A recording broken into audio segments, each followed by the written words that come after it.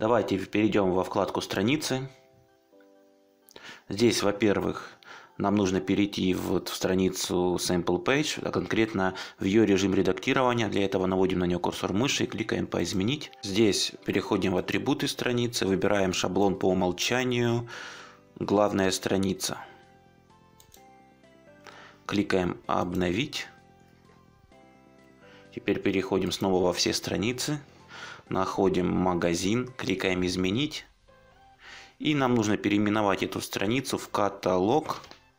Теперь внимание, мы хотим, чтобы наша, наша страница была с сайдбаром справа. Поэтому он по умолчанию у нас стоит справа. Если вы хотите на, поставить слева сайдбар, то вот это выбираете. Если без сайдбара на всю ширину, то вот этот. Если с рамками, то вот это. Что такое сайдбар? Сайдбар это такая область с краю основном расположенная, где можно где вы, наверное, видели в различных интернет-магазинах, можно выводить какую-то информацию, если это пост, блог, блог, то это дополнительные какие-то посты. В интернет-магазинах это различные опции, фильтры ставятся, возможно, другие категории товаров. Ну, в общем, нужно справа сайдбара поставить. Поэтому мы устанавливаем справа сайдбар, переименовали, кликаем обновить. Все страницы. Далее нам нужно вот страница мой аккаунт изменить. Переименовываем ее в личный кабинет. Шаблон не трогаем, обновить. Также нам нужно добавить страницу контакты. Наверху есть вот такая такой плюс, наводим на нее, выбираем страницу. Отсюда можно любой, любой тип контента выбирать, либо записи, также товар можно добавлять и многое другое. Посмотрите, посмотрите потом. Наша страница будет называться «Контакты». Справа сайт-бар, шаблоны по умолчанию. Так, опубликовать. Хотя не, давайте контакты сделаем на всю ширину. Вот с этого выбираем и обновить. Также нам нужна страница о магазине, но дело в том, что на страницу о магазине будет вести, вести слайдер, который будет расположен на, у нас на главной странице. Этот слайдер, туда, в этот слайдер подгружаются посты, то есть записи. Поэтому страницу о магазине нам нужно создать в виде записи. Переходим в записи. Кликаем «Изменить». И нам нужно изменить вот эту одну шаблонную запись. Вводим о магазине. Это все дело удаляем. И обновить. А еще давайте подгрузим аватар изображения этой записи. Для того, чтобы оно выгружалось в слайдер. Я уже все изображения, которые мне нужно будут, я здесь уже завел. Если у вас скрылась панель, вот так как у меня на колесико шестеренку нажмите, она здесь отобразится. Здесь вот есть вкладка изображения записи, кликаем установить изображение записи в библиотеке, и я выберу сейчас изображение для записи. Вот оно изображение. Выбрал установить изображение. Все установили, кликаем обновить. И переходим в консоль вот сюда. Ну, возвращаемся главное представление консоли. По предварительной настройке доп. страниц это все. Далее нам нужно создать форму. Итак, для создания формы обратной связи у нас есть специальная вкладка VP Forms. Заходим сюда. У нас будет две формы. Одна на консультацию, другая короткая для быстрой покупки товара. Она будет называться «Купить за клик». Давайте создадим первую форму «Консультация». Для этого кликаем вот по кнопке «Новая форма». Здесь вводим название формы консультация, наводим на пустая форма, выбираем шаблон пустая форма. Форма генерируется, здесь нужно добавить два поля, имя и телефон. Справа у вас превью окно, по которому вы будете собирать форму, слева поля, с помощью которых мы можем собрать форму. Кликаем, во-первых, нам нужно поле имя, кликаем по полю имя. И во-вторых, нам нужно поле телефон, но на телефон есть платная версия этого плагина, но мы можем ставить его как строка текста. Кликаем по строка текста. Вставилось. Теперь для того, чтобы настроить первое поле, кликаем возле его имени, возле его названия с правой стороны. Открывается слева панель настройки этого поля. В формате выбираем простое, Далее в расш... оно обязательно уже выделено по умолчанию, это то, что нам надо. И в расширенные опции переходим, и нам нужно вставить замещающийся текст, имя и скрыть название поля. И видите, поле приобрело вот такой вид. То есть, как бы подпись к нему исчезла, но появился placeholder с названием поля. А когда клиент начнет вводить какую-то информацию в это поле, эта подсказка исчезнет. Это считается сейчас современным подходом к созданию таких форм. Раньше было вот так вот, когда подпись лейбл указывал, указывался. Сейчас используются placeholder. Теперь то же самое здесь. Кликаем по настройке этого, этого поля, да, вводим название телефон, Делаем его обязательным к заполнению. В расширенные опции переходим. Замещающийся текст телефон. Скрыть название поля ставим. Все отлично. Теперь переходим во вкладку настройки. Здесь консультация названия формы. У нас идет. Давайте здесь класс CSS класс кнопки отправки формы вы должны вставить вот так вот button нижнее подчеркивание форма это нужно для того чтобы мы потом могли настроить дизайн нашей формы так Далее переходим в подвкладку уведомления. Здесь удаляем вот эту новая запись для и оставляем только консультация. Это название будет отображаться в качестве темы письма, которое будет приходить к вам на почту, э, когда клиент решит с вами проконсультироваться. Это адресат, от которого будет приходить письмо, да.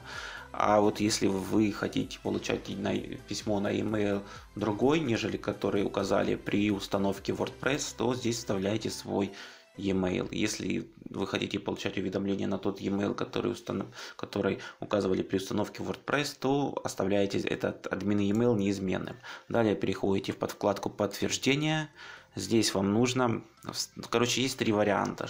Три варианта развития событий после того, как клиент отправит вам информацию с данной формой. Вы можете выводить ему сообщение какое-то, вы можете ему его перенаправлять на любой, на любой URL адрес в интернете, либо показывать какую-то страницу с благодарностями. Мы будем, мы будем выводить сообщение. Мы должны этот текст сделать шрифт, жирным шрифтом, да, выделить посередине, поставить в конце там восклицательный знак и сделать слово «вами» с большой буквы. Вот. И, в принципе, настроить по настройке этой формы это все. Мы должны сохранить изменения. Кликаем «Сохранить» и выходим из этой панели. Вторая форма – это «Купить за клик». Здесь, значит, мы, мы не, для того, чтобы не создавать с самого начала данную форму, мы должны проскопировать имеющуюся форму. Для этого наводим на нее курсор мыши, кликаем «Дублировать», кликаем «Ок». Появилась скопированная форма, наводим на нее курсор мыши, кликаем «Изменить». Здесь имя, телефон, все остается. Давайте вот название поменяем. Сюда кликаем по названию. Она будет называться у нас «Заказать или купить за клик». Вот, купить за клик. Так, здесь все остается. Э, в уведомлениях также купить за клик. Тема письма. Купить за клик. Все остается, подтверждение, также текст остается этот. Давайте вот в поля перейдем, во вкладку поля. Здесь мы должны добавить еще одно поле, куда клиент будет вводить название товара. Кликаем по строка текста, и здесь меняем на введите название товара и три точки. Давайте скопируем это, то что мы ввели, Ctrl-C. Поле делаем не обязательным к заполнению в расширенные опции. Замещающий текст вводим, видите название товара и скрыть название поля. Длину не ограничиваем. Все, отлично, сохраняем изменения, закрываем эту панель. Все, форма у нас создана, но теперь нужно сделать так, чтобы форма консультация выходила в всплывающем окне. Для этого у нас есть вкладка Pop-up Maker, кликаем по ней, кликаем по кнопке, в открывшейся панели кликаем по кнопке «Добавить новое всплывающее окно» и здесь вводим название для нового всплывающего окна, допустим, «Консультация» ведем. Консультация.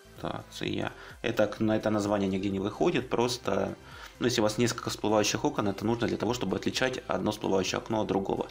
Вот здесь в текстовом редакторе мы ставим курсор, кликнув сюда, кликаем, кликаем по кнопке «Добавить форму» и выбираем название той формы, которую хотим вставить во всплывающее окно. Это у нас консультация, я выбираю консультация.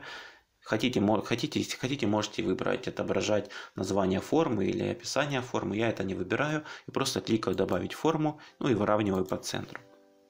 Спускаемся ниже, Переходим во вкладку отображения, выбираем тему дизайна, это Lightbox, лучше это самая лучшая тема оформления всплывающего окна. Далее переходим в подвкладку размер, выбираем маленький размер, минимальную ширину ставим 100, выбираем единицу измерения пиксели, обязательно поменять единицу, поменять единицу измерения, или иначе будет окно выходить за рамки вашего экрана. Далее переходим в подкладку анимация, выбираем самый лучший вид анимации, это затухание движения, Скорость анимации ставим на максимум, для того, чтобы все плавно появлялось. Начало анимации выбираем точку, с которого начнет свое движение всплывающее окно при появлении. Выбираем вверх-центр, переходим под вкладку позиция, выбираем расположение, то есть ту точку, в которой э, всплывающее окно в итоге встанет. Это середина-центр, самый лучший вариант.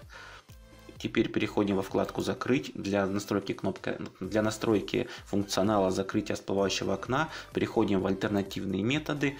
Ставим здесь галочку в этом чекбоксе для того, чтобы закрывать, можно было закрыть окно при клике за ее пределами. И с помощью клавиши Escape ставим здесь галочку в этом чекбоксе. Поднимаемся наверх, кликаем «Опубликовать». Теперь нужно чуть-чуть поменять дизайн всплывающего окна. Вот тут есть окошко, тем, тем, есть подвкладка темы всплывающих окон. Заходим, вот оно, что наше всплывающее окно, которое мы выбрали, Lightbox, наводим на него и выбираем «Изменить». Это тема всплывающего окна. Если у вас другое, другая тема всплывающего окна, то другой выбираете пункт. Мы, нам нужно сделать, добавить, у нас будет на сайте всякие выделения, всякие фишечки подчеркнуты красным цветом. У нас нам нужно сделать границы этого всплывающего окна и фон, красный, и фон закрыть красным цветом. Значит, фон под всплывающим окном мы, мы должны выбрать красный. Для этого вот кликаем по этому маркеру, открывается панель выбора цветов. Внизу представлены классические цвета, мы кликаем красный. Здесь вы можете смешивать да, и выбирать уровень насыщенности вот с помощью этой вкладки, да, вот этой шкалы, и здесь выбирать уровень прозрачности. Но я выберу классический красный цвет, в принципе, вот так вот. И для того, чтобы закрыть эту панель, просто за пределами кликаем. Далее переходим в контейнер, здесь выбираем граница, здесь выбираем стиль край, это самый лучший стиль, выбираем цвет, также красный, закрываем, толщину не трогаем, отбрасывание тени выбираем. Также красный цвет, далее закрыть, во вкладку закрыть переходим. Здесь фон. Выбираем также красным цветом. Сейчас. Все. Настройка всплывающего окна, тема всплывающего окна завершена. Спускаемся ниже и кликаем обновить. Теперь нужно вставить нам еще кнопку, при которой, при клике по которой будет запускаться вот это всплывающее окно. Мы, значит, что делаем? у вас есть вкладка Max Button. Для создания кнопки заходим в нее. Кликаем Add New, то есть добавить новую кнопку. Здесь вводим название кнопки консультация. Это нужно для того, чтобы отличать одну кнопку от другой, если у вас будет их несколько. Здесь, вот здесь ничего не вводим. Вот сюда не, и сюда также не вводим, потому что у нас будет кнопка необычная, она будет вызывать всплывающее окно. Если бы оно вызывало, она передрисовала на другую страницу, то сюда мы бы вставили ссылку на эту страницу, а здесь поставили галочку, если бы захотели, чтобы наша, наша кнопка открывала какую-то страницу в новом окне. Но вот где текст, сюда нужно ввести название кнопки, которая будет отображаться на самой кнопке. Вот видите, консультация. Здесь, значит, ну, мы должны выбрать цвета. У нас будет красный фон у кнопки и белый, белый текст, белая рамка. Слева, вот видите, здесь две колонки. Слева отображается настройки кнопки в обычном состоянии, справа э, при наведении на нее курсором мыши. И тут также есть превью окно, в котором сверху отображается кнопка в обычном состоянии и снизу кнопка, как будет выглядеть внешний вид кнопки при наведении на нее курсором мыши. Но как я сказал ранее, у нас стили будут одинаковые для обоих состояний. Поэтому текст, цвет текста белый, цвет текста при наведении белый. Пожалуйста, выделилось все. Спускаемся чуть ниже. Цвет рамки кнопки белый. Цвет при наведении также белый. Цвет фона красный. Цвет фона красный.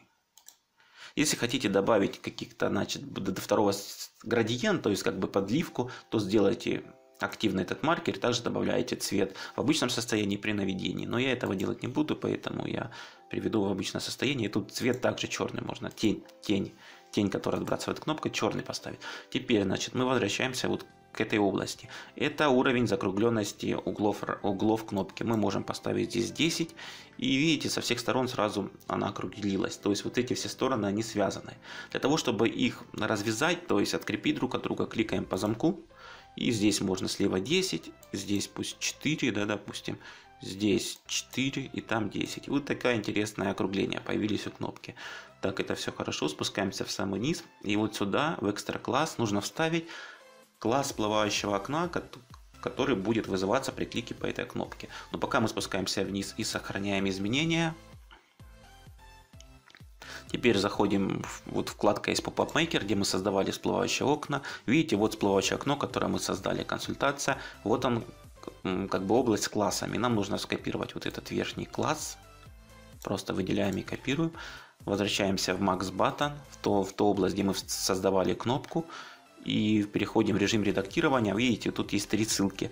Edit редактировать, копи копировать кнопку для того, чтобы второй раз со стилями с этими не возиться. И Move to Trash, это мы можете, можем, можем удалить кнопку. Кликаем Edit для редактирования кнопки. Спускаемся в самый низ и где вот экстра класс, просто вставляем класс кнопки. Все, спускаемся вниз, сохраняем изменения.